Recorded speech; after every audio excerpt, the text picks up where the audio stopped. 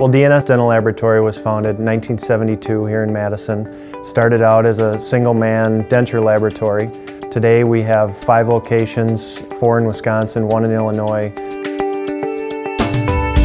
We have been a laboratory that has invested in digital production and we trust that it's going to be a, a, big part of our future here. It basically has changed the entire way that, that our production is done and the way the work flows through the laboratory. When I originally started in this business, it was all handcrafted. The selling point for digital was, here's an opportunity for you to be more productive.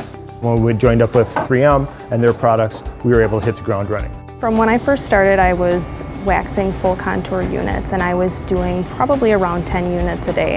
And when we went digital, I was able to scan and design 30 plus units a day. The majority of the clients that we work with in our area utilize the 3M True Definition scanner.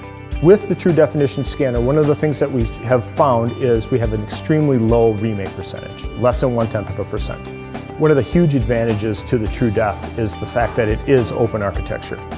Anything you're currently prescribing, you can still prescribe.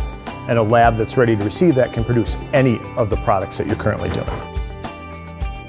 The advent of the True Definition scanner has provided the opportunity to make that a purely digital workflow once we receive that file, it's increased our efficiency because we're able to start designing a case immediately upon reception of that file and marking of the margins. When we bring in a design file, we import it into the software and we're able to design that crown um, accordingly from the, the scan that the doctor has given us.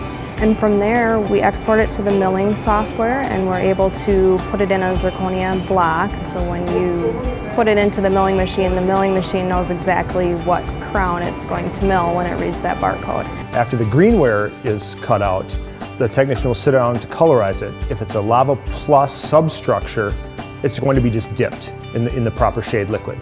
If it's a full contour, we add that material gradually or in a gradients from gingival to incisal. Lava Plus has been so consistent in its fit and shading that we have seen a great reduction in our remakes of monolithic zirconias. One of the advantages for Lava Plus when it came out is the fact that it was more translucent than any other available zirconia materials, but it didn't give up strength. It works as a substructure, it works as full contour, bridges, inlays, onlays, adhesive bridges, all can be produced with one product. We seem to find new ways to use it and fulfill the needs for our doctors uh, while being ensured that we're getting a high quality result. Well, the reaction that we get to the crowns that are produced from Lava Plus are in general are extremely positive. The doctors really like the look of them, they like the fit, they like the accuracy. The patients enjoy the final look of the restoration.